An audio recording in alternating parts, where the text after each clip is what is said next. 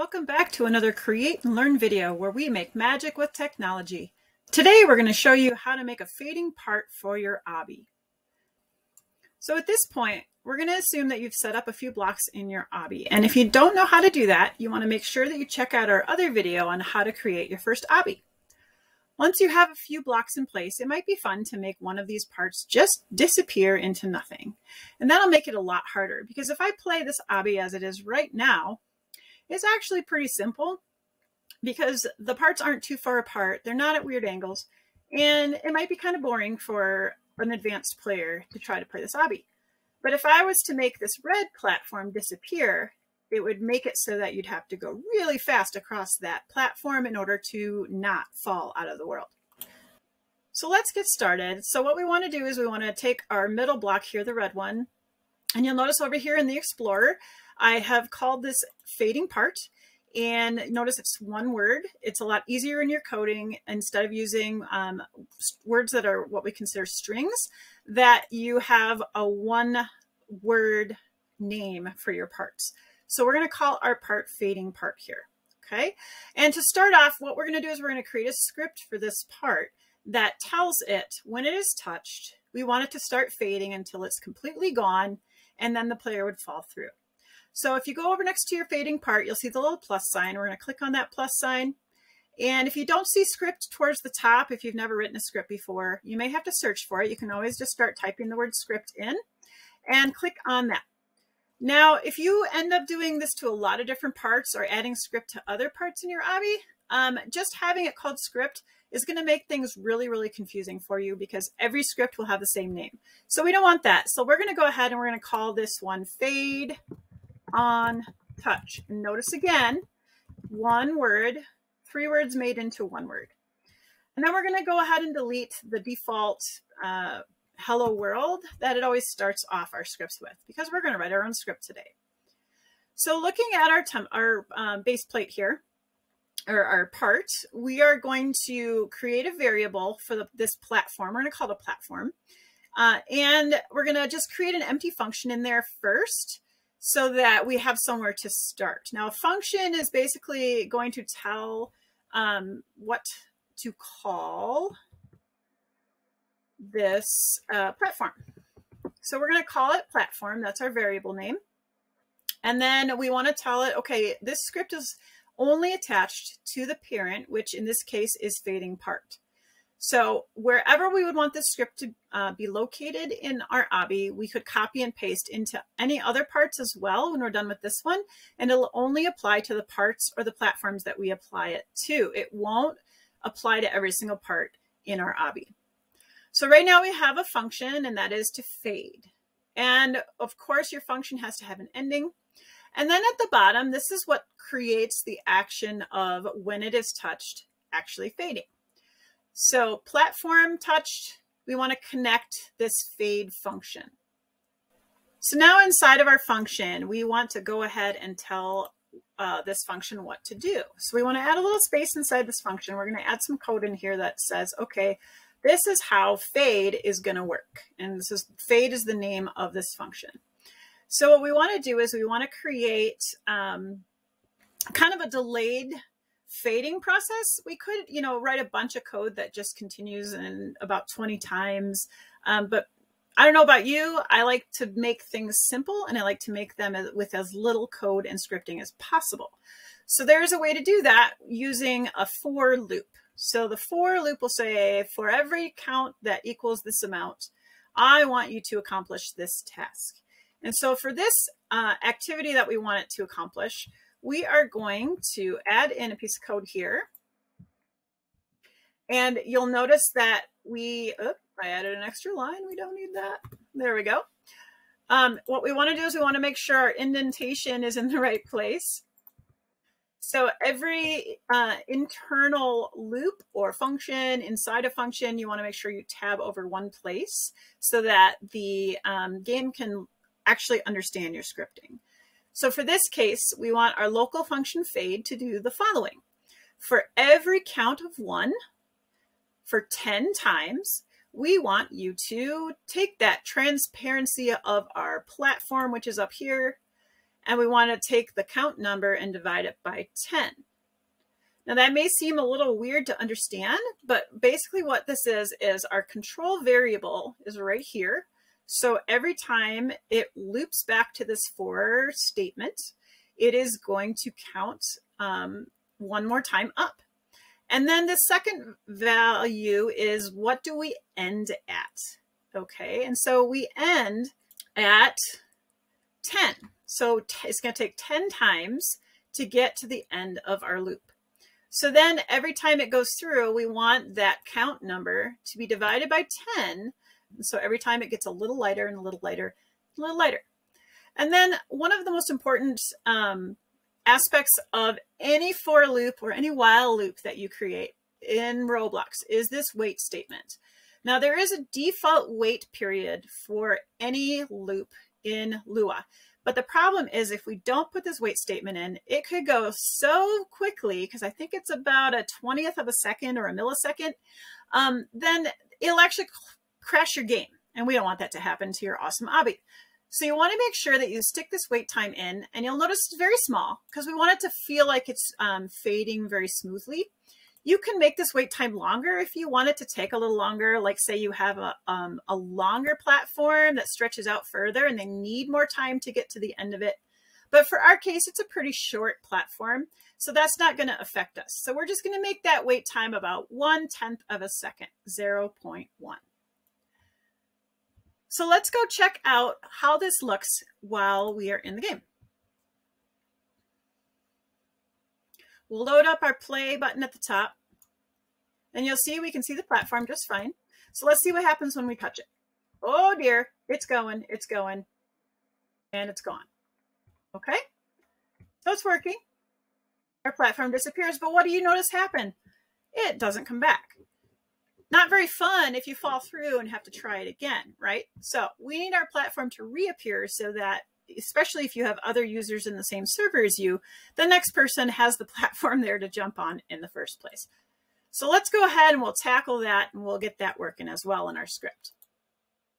So the next part of our script is going to um, configure, okay, when do we bring that platform back and how does it feel? How does it make our character react if um, before it comes back? So there's a few more lines here that we want to add after the for loop end statement, but inside are still inside our function. And that's these four lines. So we have um, we have our platform, which if you remember, that's what we are calling um, in the script, we're calling our fading part. So uh, when this loop ends, we want to say, okay, guess what? Can collide is false because if you'll notice um, when I just did that run through, my character did not fall into space like we were hoping to see, right? And that's because there's this property. If you go down to your properties box on the right, and if you don't have that properties box, you can find it on your view tab up here at the top. Make sure that you have that active.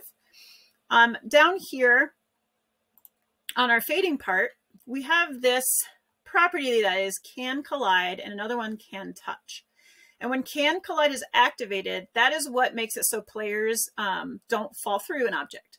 So if you ever have an object that you want um, to be non-touchable, I guess, or you can't run on it, you want to fall through it, you would uncheck this box. Now we can't start that way with this one because what would happen is it wouldn't matter if it was transparent or not. Your character would just fall through automatically. Now that's a great trick to use in an obby if you they need to choose, like say from one of four paths that might be the right path to choose. Um, you may have seen this with like four colored blocks and they have to decide is it the red, the green, the yellow, or the blue that I have to walk across to accomplish this part of the obby. And you fall immediately through the ones that have can collide turned off. But in our case, we want the collision to be there until the platform disappears, which is up here.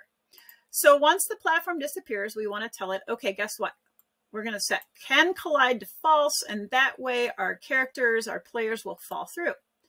Then we want to set another wait time, and this is totally up to you how long you want it to wait before that part comes back. If you have a really, really busy server and there's a lot of people playing, you may want it to come back a little faster, maybe two seconds.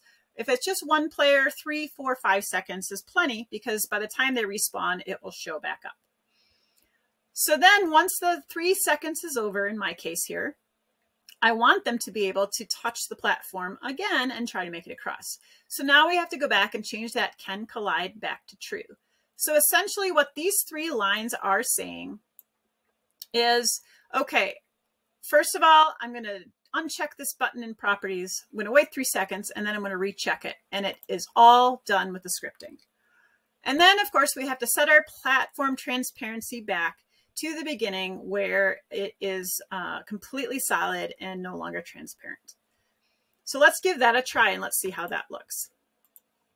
So here we go. We can see it. It's all there. We can touch it.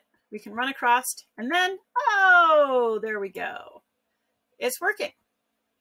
On the other hand, if I go back and respawn and try again, you'll notice it came back in plenty of time and I make it across, which I didn't make it across. We may have to adjust the length of that. Uh, then when I look back at the platform, I would see it uh, respawn and I could try again if I needed to. So, so one thing you've probably noticed if you've tried it out at this point is that it seems to be a little glitchy when we run over that platform. See how it kind of flashes? So what we want to do is we want to make sure that that's not going to be glitchy like it looks now. And what the reason that happens is because right now all we've done is set it up that if we are touching the platform, it's going to start the for loop. Well, every time your leg touches, leg, leg, leg, leg, leg, it's going to restart the loop over and over again. So we don't want that to happen. So let's go back to our code. And what we want to do is we want to create what's called a debounce variable. In other words, what that does is it makes sure that the function only runs once the first time that your player touches the platform. And that way it won't be triggered every single time the player takes a step across the platform. So we're going to use a different variable that can be used to keep track of when the platform has already been touched. And um, we're going to add a couple more things here to our code already. The first one is we're going to create this function and the function we're going to put, um, we're going to list it above the local function fade. So we're going to add this line, local is touch equals false. So our variable is is touched. So we're trying to check, okay, are we actually touching, is the player actually touching the platform? So we want to start out with false. No, they're not. We're not going to, we're not going to be touching the platform there.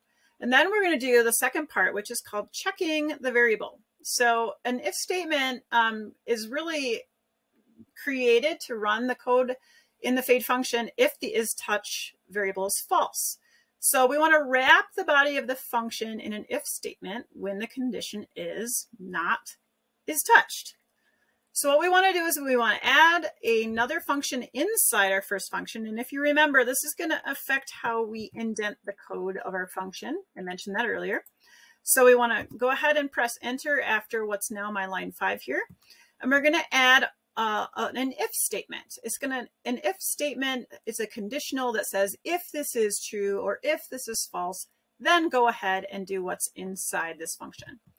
Okay, so if it is not is touched, then our following lines are going to happen. Now, Notice if and for are both on the same indentation.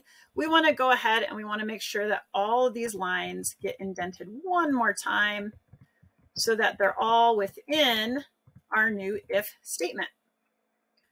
Okay, and then of course we want this uh, not touch statement to also end. So we are going to tell it to end after the platform transparency returns to zero. So the three lines we just added are at my line three, local is touched equals false. And then our line six, if not is touched, then I want you to go ahead and start this loop. And then of course we need to end that if function and notice they're at the same indentation level so that the code can be read.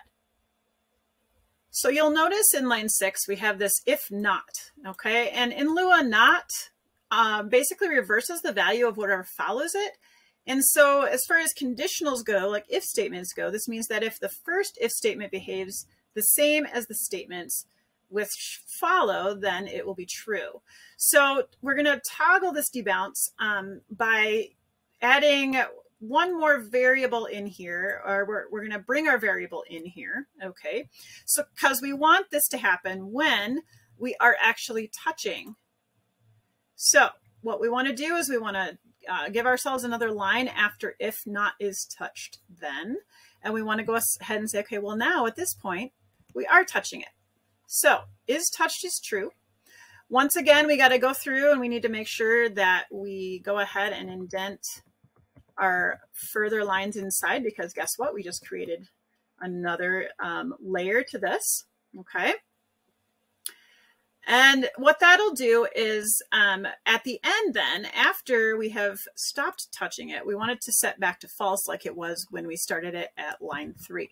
So at the end, before, after the platform transparency, um, we want to go ahead and say, okay, well now, now that we've accomplished this entire script, this loop over and over 10 times, we want to set our is touched variable back to false, which will stop the whole process of continuing this loop through over and over again.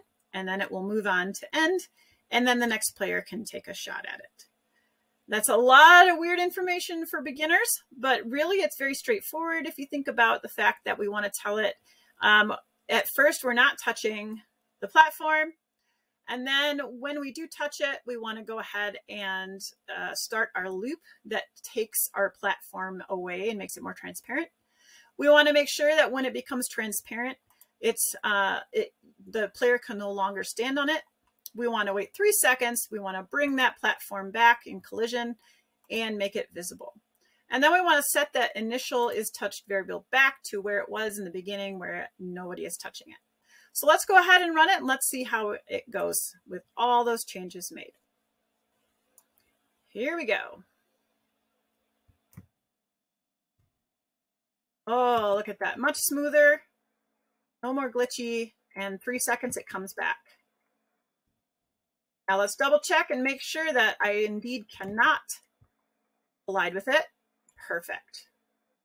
Congratulations, you just scripted your first fading part. If you enjoyed this video on scripting a fading part, we encourage you to check out all of our other Roblox videos. In addition, we invite you to join us in a live session. Come check out the Roblox Studio introductory course for free with Create and Learn. Visit our website and sign up for a, no obligation class to see if it's something that you and your family are interested in learning more about. Be sure to hit the like button below and don't forget to subscribe to our channel so you won't miss another Roblox Studio video.